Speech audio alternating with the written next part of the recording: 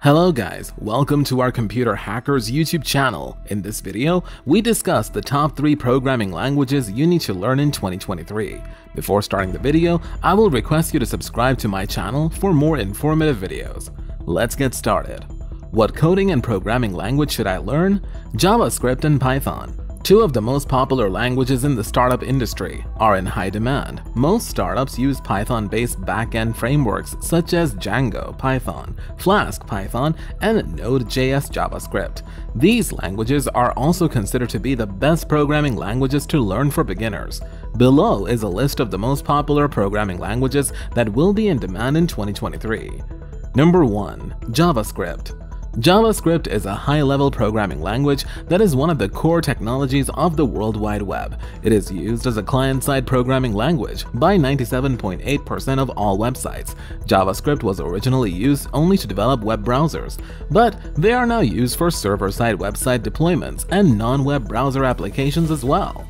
JavaScript was created in 1995 and was initially known as LiveScript. However, Java was a very popular language at that time, so it was advertised as a younger brother of Java. As it evolved over time, JavaScript became a fully independent language nowadays. JavaScript is often confused with Java. And although there are some similarities between them, the two languages are distinct. JavaScript is the most popular programming language in the world and is in high demand among various organizations. The average Java developer earns around $112,152 each year. Number 2. Python Python is one of the most popular programming languages today and is easy for beginners to learn because of its readability. It is a free, open-source programming language with extensive support modules and community development, easy integration with web services, user-friendly data structures, and GUI-based desktop applications. It is a popular programming language for machine learning and deep learning applications.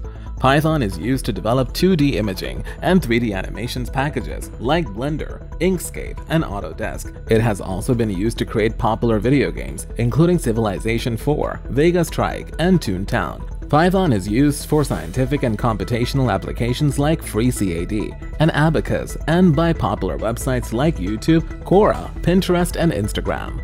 Python developers earn average annual salaries of about $109,092.